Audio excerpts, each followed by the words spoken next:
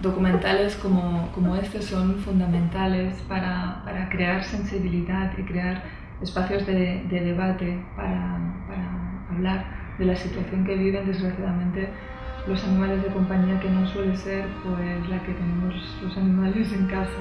Eh, existen grandes dramas como los que hemos visto en el, en el, documental y es muy importante que se visibilicen y que creemos conciencia y sensibilidad.